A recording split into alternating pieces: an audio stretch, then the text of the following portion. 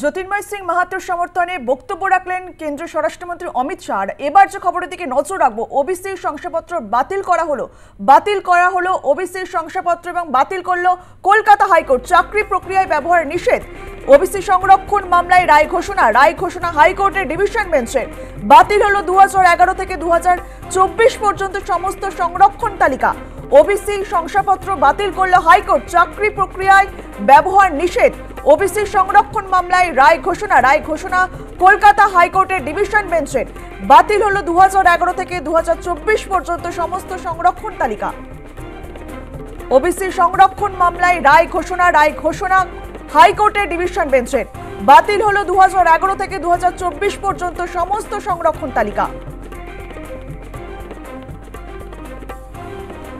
OBC শংসাপত্র বাতিল করলে হাইকোর্ট চাকরি প্রক্রিয়ায় ব্যবহার নিষেধ, এমনটাই জানা যাচ্ছে।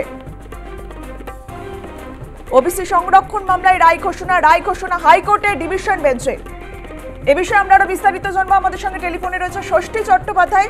ষষ্ঠী ওবিসি সংরক্ষণ মামলায় রায় ঘোষণা হাইকোর্টের ডিভিশন বেঞ্চের। বাতিল হলো দু হাজার এগারো থেকে দু হাজার চব্বিশ পর্যন্ত সমস্ত সংরক্ষণ তালিকা। ষষ্ঠী দেখো তৃণমূল সরকারের কাছে একটা বড় সড় ধাক্কা অর্থাৎ সপ্তম ষষ্ঠ দফা নির্বাচনের আগে কলকাতা হাইকোর্ট চোদ্দ বছর বাদে যে নির্দেশ দিল সেই নির্দেশ কিন্তু বড় সড় ধাক্কা কথা বলার অপেক্ষা রাখে না।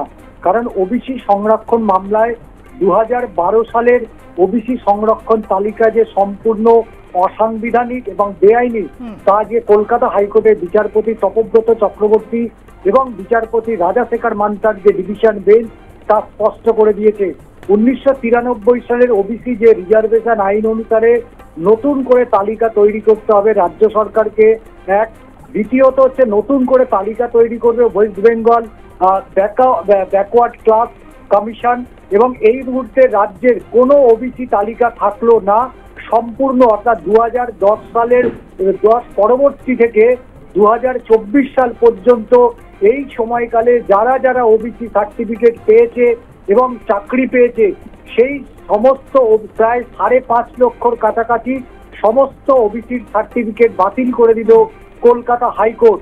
এবং শুধু তাই নয় বিধানসভায় নতুন করে অনুমোদন করতে হবে এই ওবিসি তালিকা তৈরি করবে রাজ্য সরকার এবং সেইখান থেকেই নতুন করে ওবিসি সার্টিফিকেট প্রদান করবে।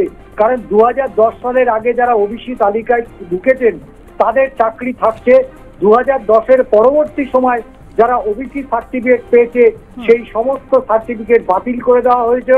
পরবর্তী সময় যারা চাকরি পেয়েছেন বা নিয়োগ প্রক্রিয়ায় রয়েছেন তাদের চাকরি নিয়ে কিন্তু কোনো অনিশ্চয়তা নেই।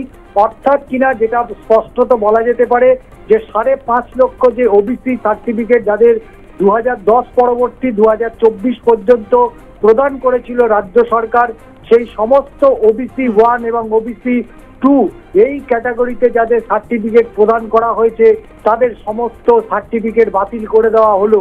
কলকাতা হাইকোর্টের আইনজীবী মহলের একাংশ মনে করছেন যে অনেকেই জেনারেল ক্লাস থেকে তারা ওবিসি সার্টিফিকেট যারা ঘুর পথে যদি নিয়ে চাকরি পায়, সেক্ষেত্রে একটা বড় সড়ো কিন্তু প্রশ্নের মুখে পড়তে হবে।